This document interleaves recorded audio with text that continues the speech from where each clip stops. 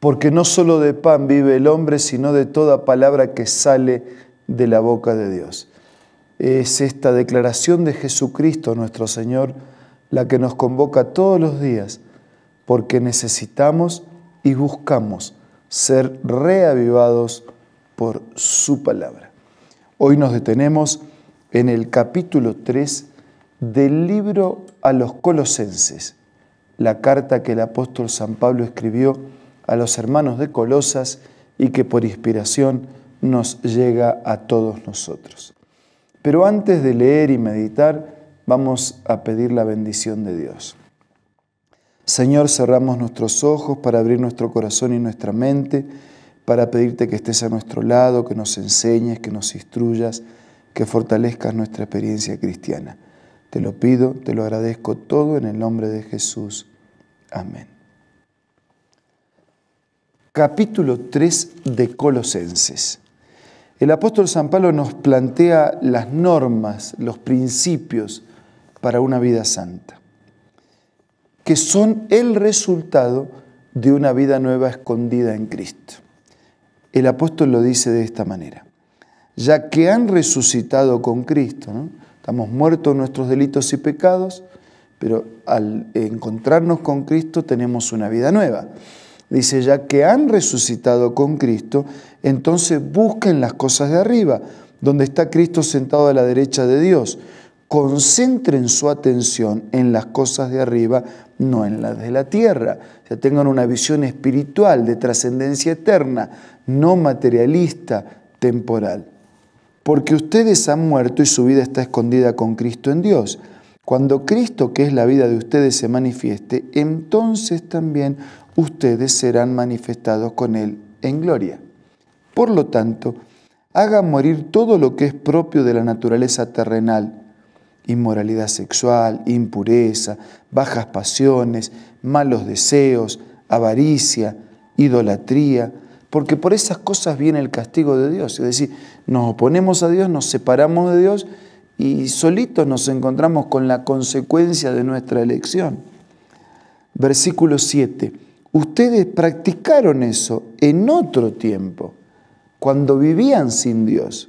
Pero ahora abandonen también todo eso, enojo, ira, malicia, calumnia, lenguaje obsceno.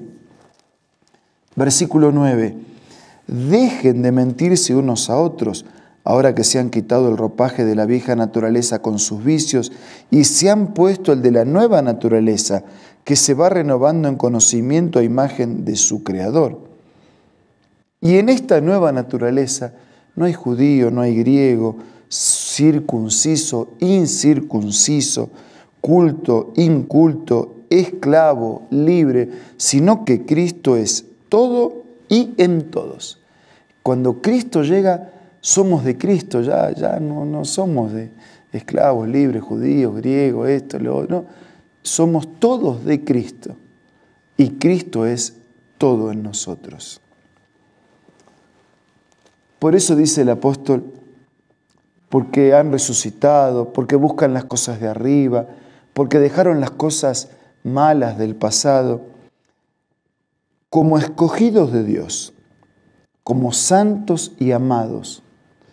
Revístanse y ahora comienza el listado de un afecto entrañable, de bondad, de humildad, de amabilidad, de paciencia, de modo que se toleren unos a otros, se perdonen si alguien tiene una queja contra otro, así como el Señor los perdona, perdonen también ustedes.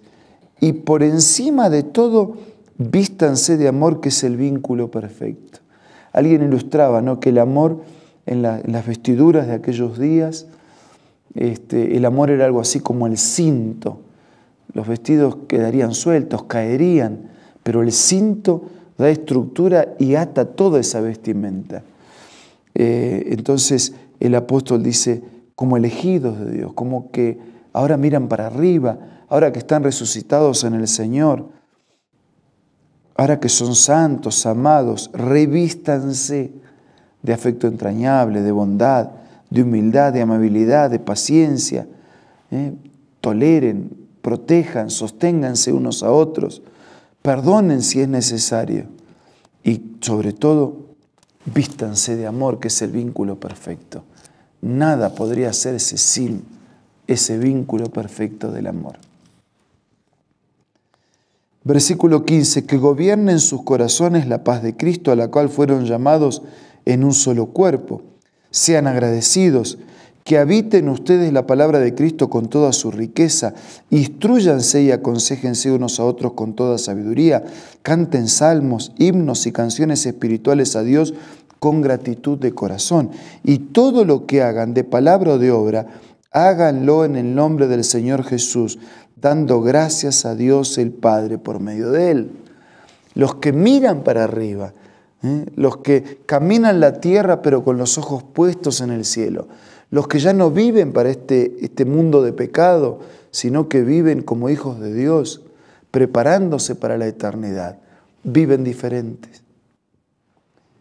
Y ahora esa vivencia diferente de un hijo de Dios va a incluir todo. Miren, esposas, sométanse a sus esposos como conviene en el Señor.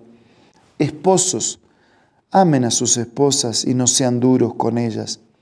Hijos, obedezcan a sus padres en todo porque esto agrada al Señor. Padres, no exasperen a sus hijos, no sea que se desanimen. Esclavos, Obedezcan en todos sus amos terrenales, no solo cuando ellos lo estén mirando, como si ustedes quisieran ganarse el favor humano, sino con integridad del corazón y por respeto al Señor. Hagan lo que hagan, trabajen de buena gana como para el Señor y no como para nadie en este mundo, conscientes de que el Señor los recompensará con la herencia. Ustedes sirven a Cristo el Señor. El que hace mal pagará por su propia maldad. Y en esto no hay favoritismos. Eh, quien siembra mal, quien hace mal, quien cosecha mal, termina bebiendo la misma bebida que preparó para otros. No hay favoritismos. Eh, es una ley natural. Quien hace mal, tarde o temprano termina tomando la misma bebida que preparó para otros. Podríamos decir que este es algo así como un tratado para una vida santa, para una vida correcta, en todos los ámbitos de la vida, en la familia, en el trabajo, en las responsabilidades, en la vida espiritual, en la vida cristiana, en la vida religiosa, en la vida del creyente. Pero nosotros tenemos que tomar todo esto desde el comienzo. Si ustedes resucitaron, si ustedes ya experimentaron un encuentro con el Señor, si permiten que Cristo gobierne la vida de ustedes, entonces todo esto podrá ser una realidad. Pero si no hemos resucitado en Cristo, si no admitimos su poder, si no permitimos su conducción, si no aceptamos su soberanía en nuestra vida, si no dejamos que su palabra nos guíe, nada de eso será posible. Por eso, amigos, lo primero, primero, Jesús, Dios tienen que ser el centro de nuestra vida. Reconozcamos su soberanía, aceptemos su persona, aceptemos su palabra, permitamos la conducción de su voluntad en nuestra vida, reflejemos su carácter y entonces sí, las demás cosas vendrán por añadidura. Dejamos eh, lo malo y vivimos una vida diferente.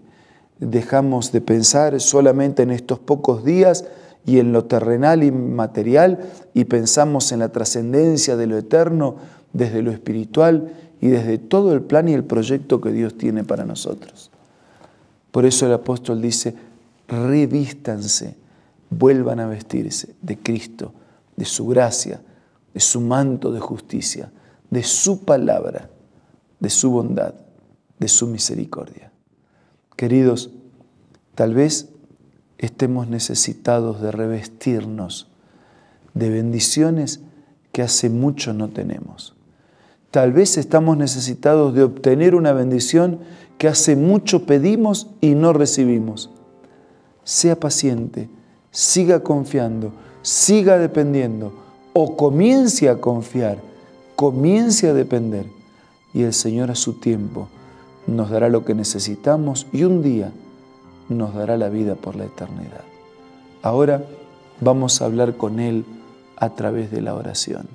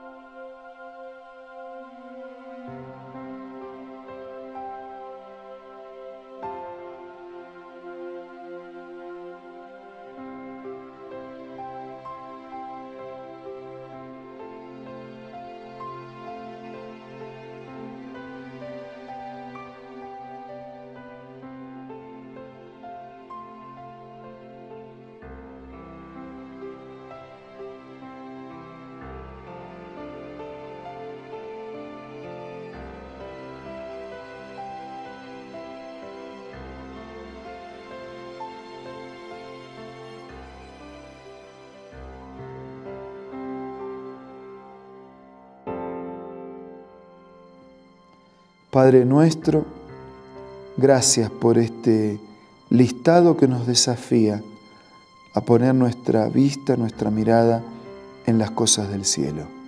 Ayúdanos a caminar la tierra preparándonos para la eternidad. Ayúdanos a atender y a cuidar de las cosas materiales, de lo cotidiano, pero a priorizar nuestra relación, nuestra relación, nuestro vínculo contigo y nuestra preparación para el cielo. Señor, revístenos con tu gracia, con tu persona, con tu manto de justicia, con tus bendiciones. Bendice a todos nuestros amigos. Tú conoces a cada uno. Los que están bien, los que están más o menos, los que están mal, los que ya no saben cómo estar. Por favor, abraza en este momento a todos. Danos un día diferente y danos una eternidad muy pronto a tu lado. En el nombre de Jesús. Amén.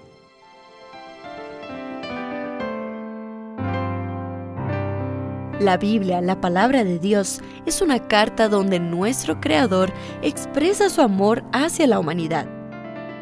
Es una recopilación de textos que en un principio eran documentos separados, escritos por varias personas, todas ellas inspiradas por Dios primero en hebreo, arameo y griego durante un periodo muy dilatado y después reunidos para formar la Biblia cristiana. Está dividida en dos grandes secciones, el Antiguo Testamento con 39 libros y el Nuevo Testamento con 27. En la Biblia se desarrolla la historia de la salvación de Dios al hombre.